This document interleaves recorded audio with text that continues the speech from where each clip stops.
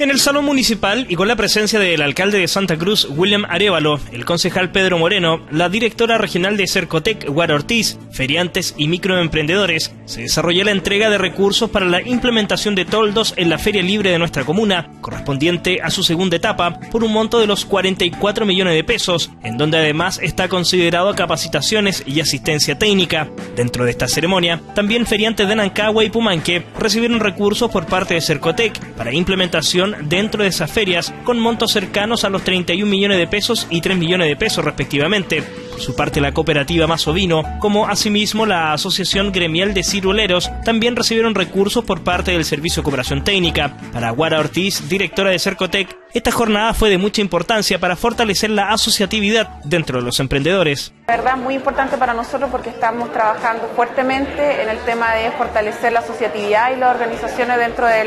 del empresariado. En este caso estamos hablando de emprendedores chiquititos, pequeños, ¿cierto? Y además de entregarle los fondos, en este caso a las ferias libres de Santa Cruz, Nancagua y Pumanque, también quisimos hacer la entrega de los recursos de eh, organizaciones que habían adjudicado a través de un programa que tenemos de fortalecimiento gremial, que en este caso es más ovino, y los cirueleros también de la zona, quienes eh, postularon algunos proyectos con nosotros y la verdad que quisimos hacer algo un poquito más grande para poder entregar estos recursos y que ellos también puedan eh, reconocerse entre ellos mismos y quien te dice más adelante poder trabajar también mancomunadamente. William Arevalo, alcalde de Santa Cruz, destacó el compromiso de los feriantes y Cercotec, lo que hoy en día permitirá un mejor ordenamiento a la feria libre. Para nosotros es muy importante es que esto se esté logrando. Agradecemos a Cercotec la confianza, a la Oficina de Cooperación Social y Agropecuaria y de la zona productiva de Santa Cruz,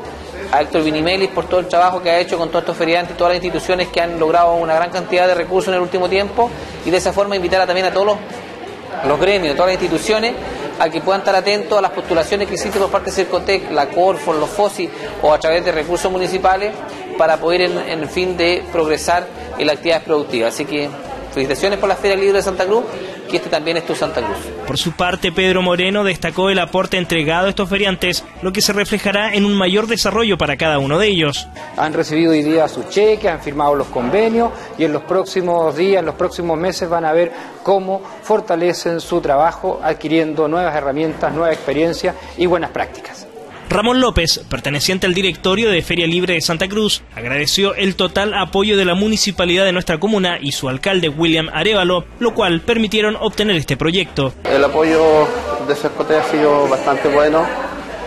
Lo que sí que el, apoyo ¿no de la municipalidad ha sido para nosotros un punto fundamental porque, bueno, yo siempre lo he dicho y he estado, ¿no es cierto?,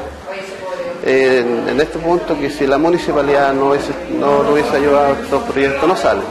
Hoy el, apoyo de la institución ha sido fundamental. Así, con esta entrega de recursos en su segunda etapa, la Feria Libre de Santa Cruz comienza a tomar una nueva cara gracias al esfuerzo de los propios feriantes y al apoyo de Cercotec y la Municipalidad de Santa Cruz.